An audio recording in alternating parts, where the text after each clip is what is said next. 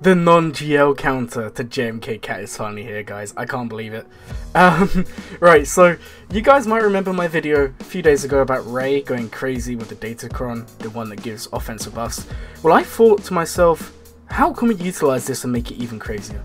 And then I thought, what about Genlight Revan Bastila and JKO?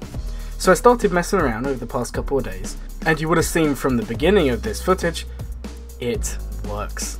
And it's consistent. I've tried it many, many times. Out of my last three attempts, I have two wins. So it's, around about 60 to 70% success rate. It can go a little bit dicey, and I'll kind of explain that throughout the video. So just disclaimer here, guys. I have very good mods on my characters. Um, it is possible with lower relics and lower mods, um, nice thing here is this cat wasn't very fast.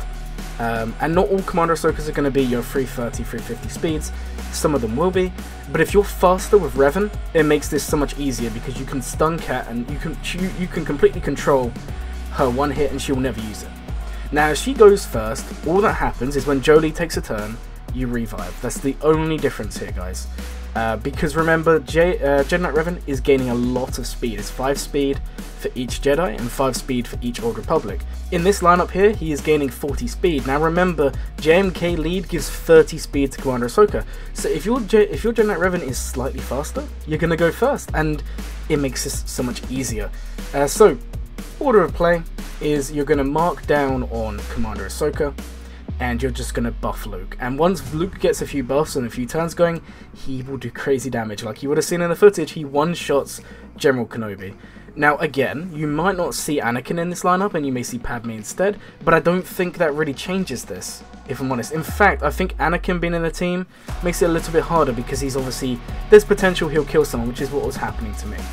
Um, but for the most part, guys, trust me, this works a charm. Uh, Commander Ahsoka is honestly no issue. Once you can control her uh, leap, her force leap with the stuns, it's amazing. And mod-wise, like I said, they're good mods. We've got Revan modded for speed, Luke's all offense, Bastila is a little bit of potency, Jolee's modded for health and crit avoidance on the arrow, and I thought the crit avoidance did make a big difference. And then GK's actually modded for high protection. Uh, you could also do health. It works a charm. Now in terms of relics, my Revan's relic 7, my Luke is relic 7, my Bastila's relic 3, Jolee's relic 5, and GK's relic 8. A lot of you probably already have a relic 8 uh, Kenobi, and a relic 7 Luke. Um, Jolee is mandatory, I would even say higher relic, because a couple of times where I've lost in the past, it's because Jolie gets uh, targeted down and can't get off the revive. Because if he gets off that revive, the AI love to target Revan, which is awesome. And, and in terms of banners, it's not even terrible banners. Um, and you see here, Guys, we won. It's incredible.